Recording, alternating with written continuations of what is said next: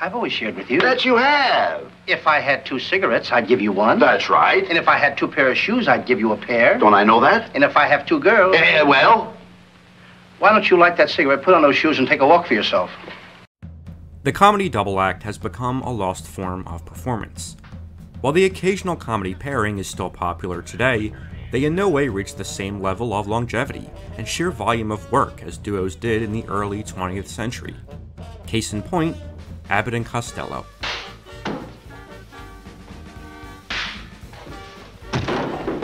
A comedy double act who dominated each platform they performed in. They not only headlined 36 elaborate and varied movies, they also hosted an acclaimed radio program and created what is considered to be one of the most influential TV sitcoms of all time. These feats are all the more impressive considering they accomplished them in just over two decades. But their legacy wouldn't end there, with an animated series and countless homages to follow. give me the bird. Give me the bird. If the Hays office would only let me, I'd give him to Boyd, all right. not to mention generations of comedians born from their influence. No, please, excuse yourself. Individually, they couldn't have been more contrasting, particularly in their cadence, delivery, and physical appearances. All behave yourself. I was playing choo-choo train. Never mind that. Hey, you never let me have no fun. Keep quiet. But as a pair, they sync together perfectly. Put a dollar in the pot. Oh, silly game. Look, the pot on the table. Pot on the table. Certainly. All right, now will you take that off? What are you doing? You told me so. Not that. Their comedy was almost rhythmic in its delivery, a carefully crafted rapport that included lightning fast wordplay Yeah, fifteen dollars went south. What do you mean? You gave me a lot of fast talk. You see, I got two tenths for a five, and I give it to you. Oh, you did. Wise guy. Okay, here's your five. Give me back my two ten. That's better. Now get out of here. Okay. All right, now you Ten want to more. ten more to you. That's the idea. How about you, friend? and physical comedy. Where are you guys going? We're walking out. Today, while they are most known for their iconic Who's on First routine, a routine that Bud and Lou didn't originate, but one they reinvented and performed best. That's whose name? Yes. Have you got a contract with the first baseman? Well, naturally. Who signed the contract? Well, now you wouldn't expect anybody else to sign it. But who? Yes. Or their collaborations with Universal's monsters, seasoned fans of their work know that there is so much more to their lives and partnership. So let's take a look back at how William Abbott and Louis Costello became Abbott and Costello, creating a chemistry that changed comedy performance forever.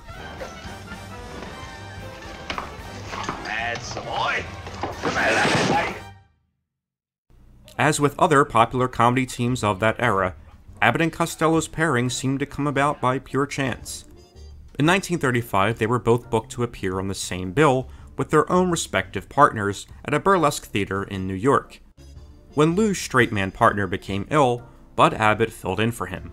While they would have a long road ahead of them, the two knew from their first moments on stage that they clicked together like they hadn't with their other partners. Our timing, our timing was perfect for each other, but it took, oh, at least three years of struggle to get our first act uh, organized and uh, material together. While Lou Costello deserves credit as being the perfect comic foil, expertly projecting his frustrations onto the audience, Hold that. Unpack that grip. Unpack the grip. Run away. We got nothing to fear. That's right. But on second thought, if they came in that door right now, you know what would happen? They'd take us to jail. Pack that grip. Pack that grip. Hurry up before they get in here. Pack that grip. That's fine. Bud Abbott deserves mentioning as probably the best straight man that there ever was. Look, you're 40 years old and you're in love with this little girl that's 10 years old. Now, you're four times as old as that girl. You couldn't marry her, could you? Not unless I come from the mountains. There you go. You see, you won't. Why don't you ask me? Shut Wait a minute. Wait till I finish this. Most of the laughs in their comedy routines come from Bud setting up the joke almost effortlessly. Taste that dish. It's delicious. How do you like it? Good. What are you doing? Their natural ability to play off one another made them huge stars on the burlesque circuit throughout the mid 1930s. In 1938, they made their first radio performance. Well, the to find out is what's the guy's name on first base? No, what is on second base? I'm not asking you who's on second. Who's on first? One base at a time. Well, don't change the players. I'm not changing nobody. Take it easy, buddy. I'm only asking you, who's the guy on first base? That's right. Okay. All right. As radio audiences couldn't visualize them, it was hard to tell them apart, which was essential for their rapid fire comedy delivery. To combat this, Lou pitched his voice up higher than Bud's, sounding more childish. It was a fixture that would remain in their act from then on. And I heard one of the boys say that. But you didn't play in the game. They wouldn't let me. I was too young. Oh, well, that's different. I didn't know. Starting Tuesday, I'm going out with girls. I don't blame you. As they continued to dominate the airwaves, eventually starting their own program in 1940, Universal Pictures decided to take a gamble and hired them to appear in supporting roles in a comedy film called One Night in the Tropics. While Bud and Lou don't get too much screen time here, they easily steal the show, with all the reviewers at the time suggesting as much. I like Worcestershire sheer shorts. You what? Worcestershire sheer shorts. Worcestershire shire. You can't even say it. Universal's gamble had paid off, and they quickly signed the duo to headline two features, commencing with Buck Privates in 1941. The World War II comedy saw Bud and Lou join the ranks of the U.S. military. Suppose you had $5 in this pants pocket and $10 in this pants pocket. What would you have? The captain's pants on. There you are, you Oh, what do you ask me those kind of questions for? Yeah, all silly. Why do you ask me a nice easy one? As screenwriters didn't yet understand how to properly utilize them, the duo just worked a lot of their stage routines naturally into the story, accompanied by a romantic subplot and musical numbers by the Andrews sisters. Get your chins up. Get your chest out. Throw out your chest. Get your chest out. Throw it out. I'm not through with it yet. Quiet. After filming was completed, Universal rushed them into another production, a haunted house comedy to be called Oh Charlie. Oh, Charlie? What happened? While filming for this comedy was underway, Buck Privates was released and exploded at the box office, grossing over $4 million, cementing Abbott and Costello as movie stars. Arms. Uh, come on, pick it up. I thought I had it. Pick it up. All right. Come on, come on, snap into it. With a surprise smash hit on their hands, Universal decided not to change the formula for their next movie, and Oh Charlie was put on hold. A Navy based comedy was then quickly developed and rushed into production. It would also include a romantic subplot and musical numbers by the Andrews sisters. I know these numbers were huge crowd pleasers at the time, but when watching today, I always yearn for the plot to get back to Bud and Lou.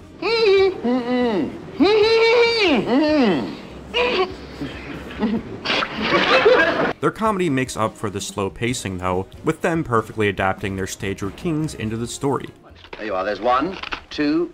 By the way, how many years have you been in the Navy? Six years. Six. What's that got to do with counting out my change? Six? Yeah. Seven, eight, nine, ten. It's much better.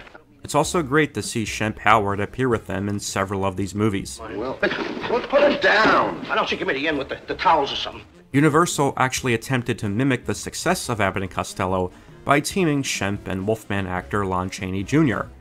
They only made one film together, though. Seven times thirteen is what? 28. Prove it. Seven times three. Twenty-one. Seven times one. Seven. Seven and one. Eight. Two. Oh, no. Oh Charlie was retooled to become Hold That Ghost, shoehorning in nightclub segments so the Andrews sisters could make yet another appearance. The movie's success showed the studio that Abbott and Costello didn't need a military backdrop to make a hit. Taste it, Ferdy. Might be poison. Go on, taste it. Might be poison. What are you worrying about? In 1942 alone, they pumped out four films, ending with one of their most popular, the murder mystery Who Done It. Murder. Murder. Murder. Murder. Get out. Murder. Murder. Give me a sense. Murder. Murder. What is it? which was their first film not to include any musical numbers or elongated subplots. The result is a movie with tight pacing that puts Abbott and Costello front and center, showing they were capable of carrying a movie on their talents alone. Come here, you. What's your name? I'm- That's a lie. Make a note of that. It's in the book. I'm getting a lot of silly things from this guy. He ain't answering me. Well, grill him. Huh? Grill him. I'm not hungry.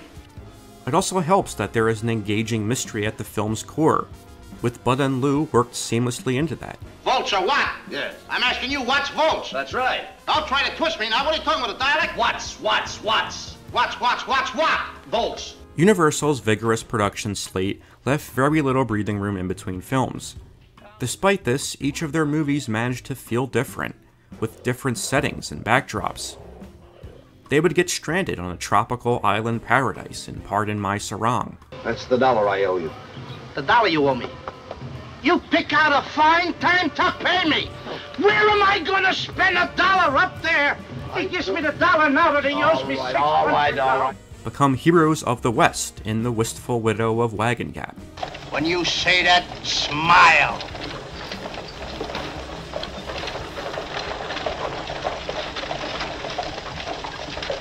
and escape imprisonment in the Middle East in Lost in a Harem.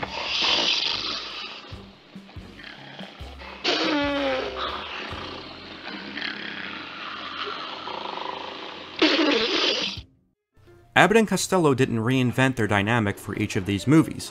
Rather, they carefully adapted their already proven routines to the constantly changing worlds of these movies. I want to tell her. Well, go ahead and tell her. I don't care. No, no, no. Tell her in the bank. Tell her in the bank. Tell her outside. Tell her any place you want. I won't listen. They also remade routines popular by other comics, adding their own spin on the joke. What are you doing over there? Soda. And what will you have, Stan? Soda. Just a moment, please. Pardon me. Give me a turkey sandwich and a cup of coffee, please. What do you have? I don't care for nothing. Oh, go ahead. Have something. Give me a turkey sandwich. then. Listen, I just get through telling you. I refused once, didn't I? That's enough. It's also impressive to watch Lou bounce off the walls doing his own stunts in several impressive sequences throughout their career, while Bud Abbott stands slightly off, just reacting naturally. What are you doing now?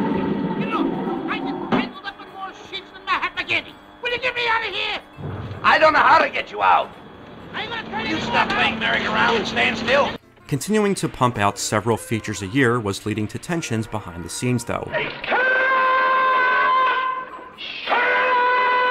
This, combined with Universal wanting to mix things up, would result in two comedies where they wouldn't appear as a duo. One of those, 1946's The Time of Their Lives, is one of their most acclaimed comedies. Here, Bud and Lou play individual characters, who don't interact much one on one during the film. The result is a terrific yet different comedy that showcases Abbott and Costello as individual performers. Here you can really see what a great character actor Bud Abbott could have been. As a psychiatrist, I've got to agree with him. And if we all intend to keep our sanity, we've got to get to the bottom of this. As the 1940s were coming to an end, Abbott and Costello signed a new deal that would permit them to make one movie independently of Universal per year. While they had been loaned to MGM in the past, Good time. Are you nervous? Let's... I don't know. it was through this arrangement that the duo made some of their most elaborate works, including their only two color movies Abbott and Costello Meet Captain Kidd.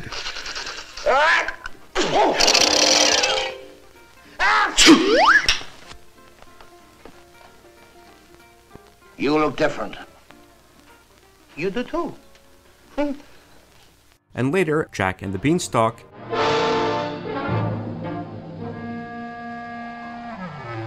It was in the late 1940s, though, that Bud and Lou also began their collaborations with the Universal Monsters. I can't go. I got a date. In fact, I got two dates. But you and I have a date with destiny. Let Chick go with Destiny. I've covered these movies in a separate video because there's so much worth talking about there. But to summarize what I said, all of these team ups work so well because all the horror elements are played straight and serious, like an actual Universal horror movie. The fact that Abbott and Costello are there is just incidental.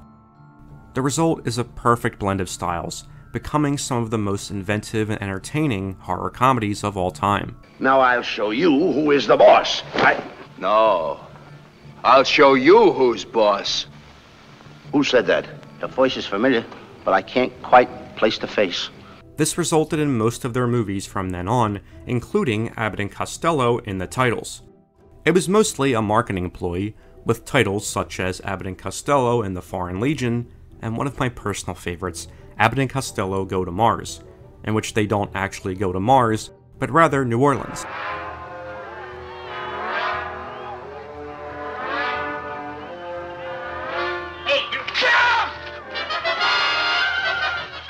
And later Venus. It's so bizarre and out there that I can't help but appreciate it for what it is a Bud and Lou take on a sci fi B movie. I don't want to go to the moon. If I want any green cheese, I go to the delicatessen. With a new decade dawning, Abbott and Costello continued making films for Universal, though they were failing to draw the same box office numbers as their earlier work. A dog just come out of this one. Uh, Hey, a dog was swimming in there. you're crazy. But Bud and Lou still had a trick up their sleeves in the form of the Abbott and Costello Show. This surreal TV sitcom was produced for syndication beginning in 1952. Here, they were able to establish relationships with other characters, such as the landlord played by Sid Fields, I'd like to see you do that again. Oh, you would, would you? Huh? or the pesky Stinky played by Joe Besser. You're picking on a little boy like that. Ooh! It's me! Listen, it's only a little boy. Hey, he broke my All sucker. right, all right, all right. We'll Hey, I, he, he knocked me down, bud, and it broke. The show emphasized funny situations over life lessons, something that Larry David and Jerry Seinfeld later used for inspiration when creating Seinfeld. The key over here. Open them up. Give me the key. Give me the give me let me give me the give me the key. Where's the key? Go, go. See where the key went?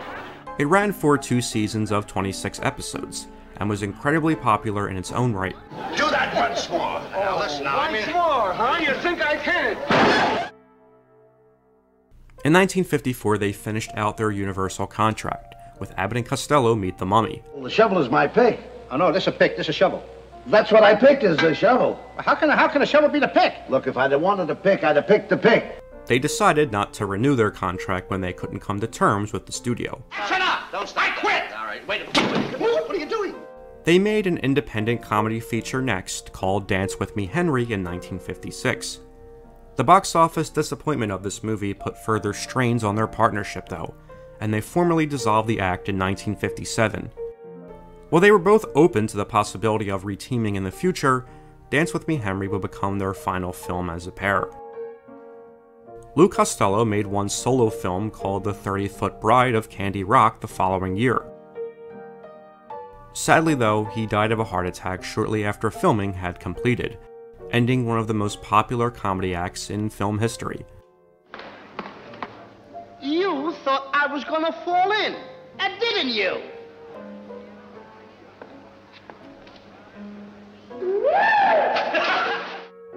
Bud Abbott attempted a comeback with a comedian named Candy Candido in the 1960s. Despite a warm reception from audiences, Bud soon dissolved the act, remarking no one could live up to Lou. He eventually retired shortly after, only coming out of retirement once to voice himself in Hanna-Barbera's The Abbott and Costello cartoon show. Gadzooks. What's that? I don't know, but that's a good name for him. Yadzuka. It became Bud Abbott's last performance prior to his death in 1974. When examining their career and sheer volume of work, it's hard to imagine anyone else coming close to this level in the future. Abbott and Costello's work is just a wonderful window into a time when two performers couldn't exist without one another. Show me a lifesaver. What? Show me a lifesaver. Oh, my lifesaver. Hmm. Okay. Here you. Which is really just a testament to how truly special they were as a team. When we were overseas, you didn't fire off a gun I didn't have to. I did all my fighting with a knife. with a knife. With a knife. I had 6,382 to my credit. enemies? No, potatoes. Oh, stop. Like Laurel and Hardy before them, these two were so great together that the work they could have accomplished on their own would have been nowhere near as special as what they were able to do together. Who's on second? Who's on first? I don't know. He's on third. There I go. Back. Oh, no, no, no. Every time you hear those two guys, who's on first? What's on second? I don't know. The little fat guy, he killed. No good.